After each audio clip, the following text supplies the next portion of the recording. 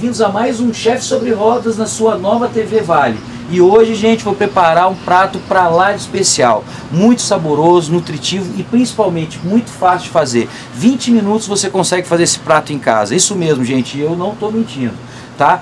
Hoje a gente vai fazer um cuscuz marroquino. É bem diferente do cuscuz paulista que a gente está acostumado, com atum, ovo. Vocês vão ver. Eu já até fiz uma vez aqui, mas vou mostrar para vocês. Acho que eu também tive num restaurante com a Júlia do Natural Mix. Acho que ela também fez um lá para vocês. Mas hoje eu vou fazer aqui devagarzinho, com calma, para vocês aprenderem, tá? Me sigam então.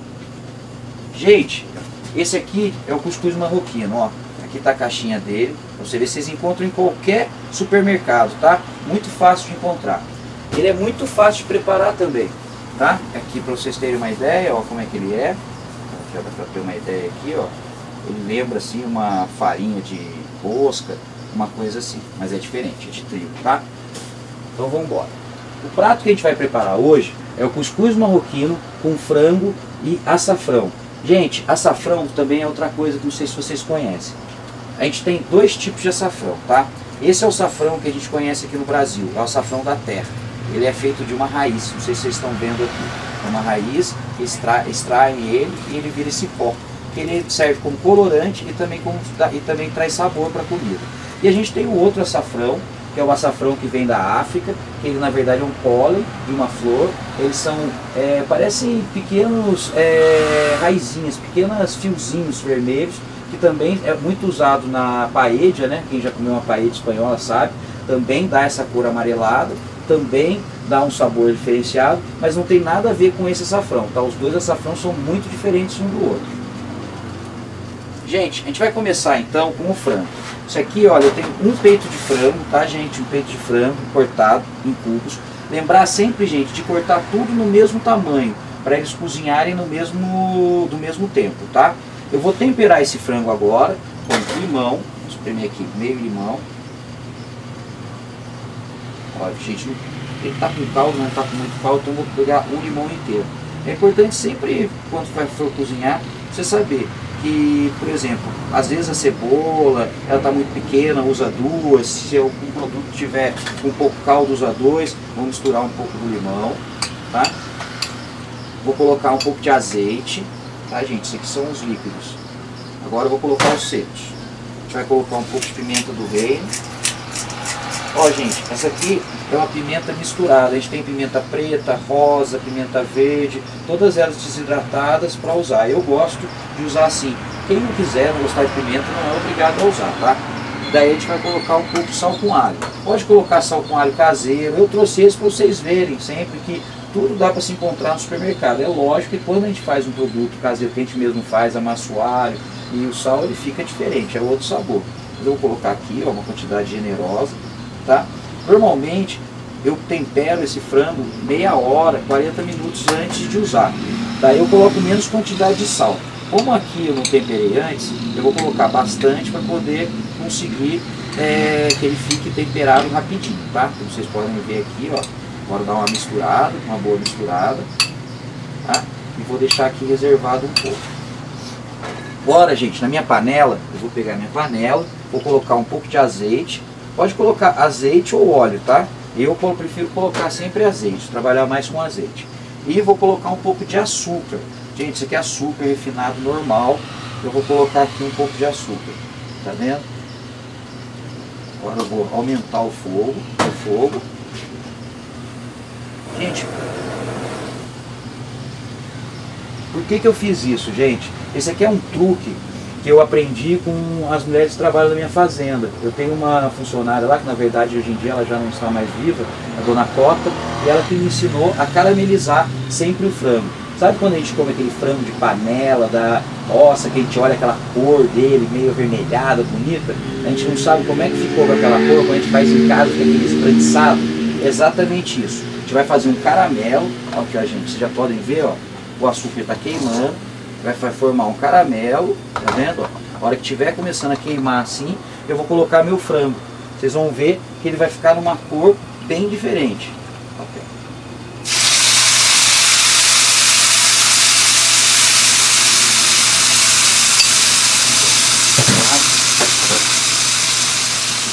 Ó, gente, Depois que eu coloquei o frango, eu vou esperar um minuto, tá?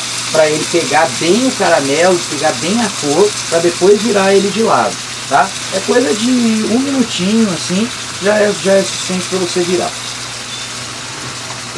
Vocês vão ver a cor que ele vai ficar. Sem contar o cheiro, é como eu falo, né? Pena que na TV a gente não consegue sentir o cheiro. o dia que inventarem isso, o pessoal vai ficar bilionário. Vamos lá. Tá vendo, gente? Olha a corzinha, olha o segredo. Quando você for fazer aquele frango de panela, não importa sobrecoxa, coxa, é só fazer esse mesmo caramelo, colocar e deixar ele pegar bem a cor. Aí depois você continua fazendo do jeito que você está acostumado, não tem problema. Você vai acrescentar sabor, cor e um, um sabor mais adocicado, mais para o agridoce. Mas não muito também, é leve. A quantidade de açúcar por tanto de comida não é muito. Aí, ó, gente, mais uma mexida. Pronto. Agora, como a gente está usando peito de frango de cozinha rápida, a gente não vai demorar muito para colocar os outros produtos.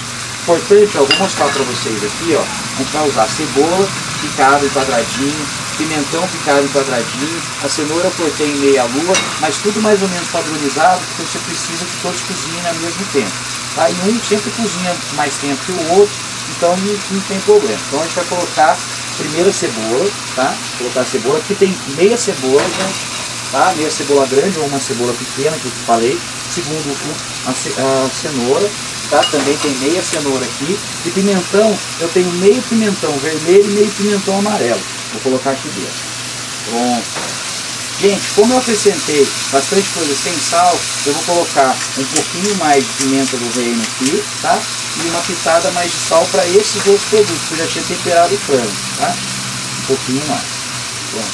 Tem pouco mesmo, só depois a gente corrige no sal se precisar. Lembrando que sempre sal dá para você colocar mais, mas não dá para retirar. E vou colocar o colorante aqui. Ó, uma quantidade boa, uma colher de sopa mais ou menos. Agora a gente vai misturar tudo de novo. Tá, gente? Vou misturar tudo de novo.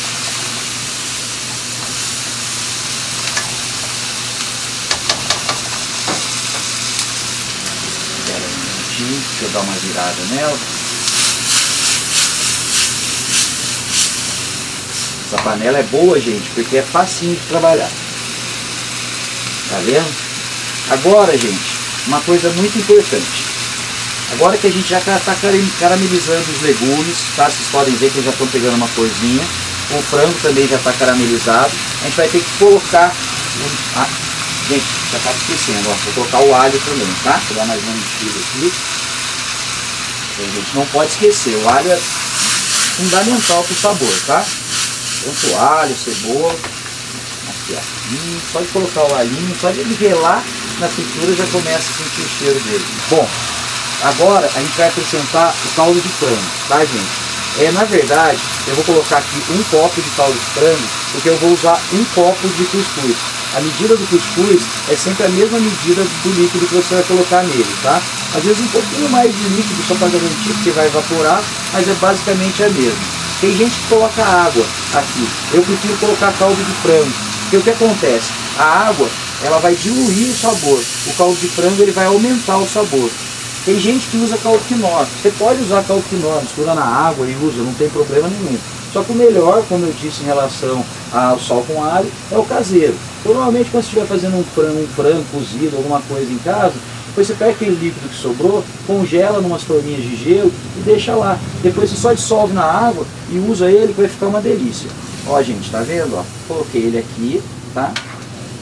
Agora ele vai ficar cozinhando para dar o ponto, tá? Certo? Na verdade eu sempre vou pegar como ponto a cenoura. Porque a cenoura é o mais duro, quando a cenoura estiver mole o resto vai estar tá tudo pronto. Tá bom? Deixa eu agora pegar o cuscuz. Agora a gente vai trabalhar com cuscuz.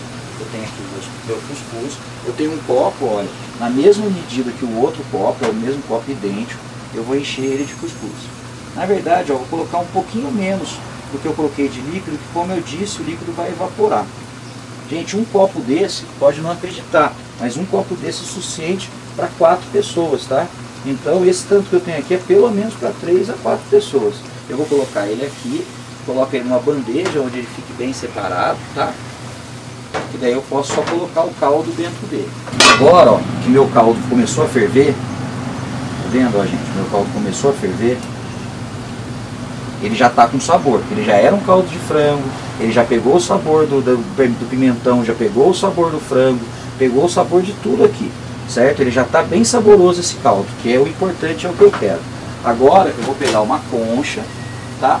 Vou pegar o meu copo de novo e vou retirar o caldo agora, tá? Ó. Pegar só o caldo mesmo. Se pegar alguma coisa a mais não tem problema, mas tenta só pegar o caldo quando estiver fervendo já, tá? Eu, por que é importante estar tá fervendo? A gente vai virar esse caldo dentro do meu é, cuscuz. Então ele tem que estar tá fervendo para poder cozinhar o cuscuz. É muito rápido, viu gente? Ele cozinha em coisas de 3 a 5 minutos no máximo. Não precisa de mais nada. Ó. Eu vou colocar o copo bem cheio. Para ter bastante caldo ali, ó. Vou colocar aqui. É só isso, gente. Não precisa fazer mais nada. Sozinho ele vai absorver esse caldo quente e vai cozinhar. Daqui a 5, 3 minutos, 5 minutos você vai ver. Ele vai, tá, vai ter puxado esse caldo todo, vai estar tá parecendo uma maçaroca, mas é só soltar com o garfo, vocês vão ver que ele fica super legal, uma, uma textura super legal. Com relação a esse restinho de caldo que sobrou aqui, que também sobrou porque soltou dos legumes, soltou do frango, isso tudo, eu vou deixar ele terminar de cozinhar aqui então sozinho. Tá? Eu vou colocar minha tampa porque eu quero que ele fique o mais seco possível.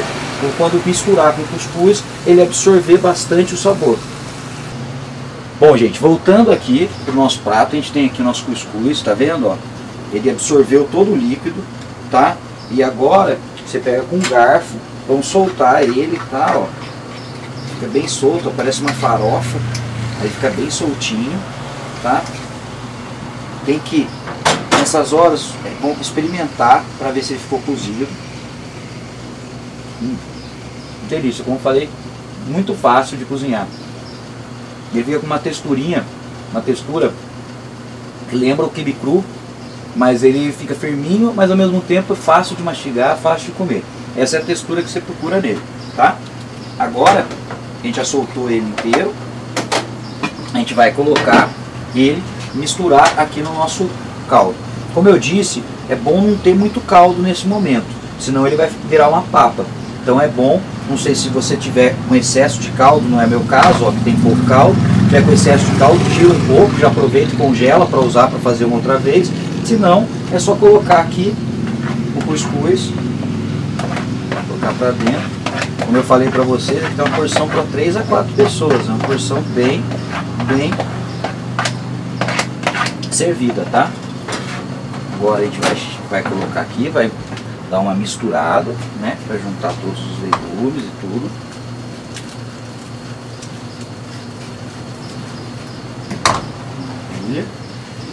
Vou acrescentar agora a salsinha, tá gente? Picada, para dar uma cor.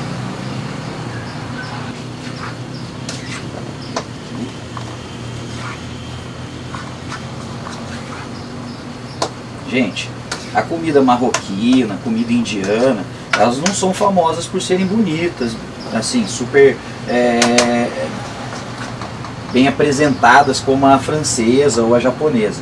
Mas em compensação, o sabor é maravilhoso. Lembra aquelas comidas de vó, de mãe, que são bem temperadas, bem saborosas. Vou colocar, gente, aqui dentro do bol, tá? Lembrando uma coisa, tá, gente? Esse é um prato muito versátil. Se por um acaso você não come carne, é vegetariano, então não tem problema. Tira o frango, em vez de colocar o frango, você pode colocar berinjela, você pode colocar é, aquela abóbora cabotiana, aquela abóbora japonesa, tem cogumelos, a variação é bem grande, tá? É só tirar o frango e acrescentar um desses produtos que eu falei. Aí você vai ter uma comida vegetariana rápida, fácil e muito saborosa. Olha gente, a gente vai pegar aqui o prato, tá? sempre para desinformar. Tira ele de ponta cabeça e depois pum. dá sempre umas batidinhas em cima para ver se ele soltou, né? Ele pode ter grudado. Normalmente é isso. Alguns pedaços de frango aqui por cima. Que eu gosto. Vou colocar um pouquinho de salsinha no prato. Legal. E para terminar, um pouquinho de azeite.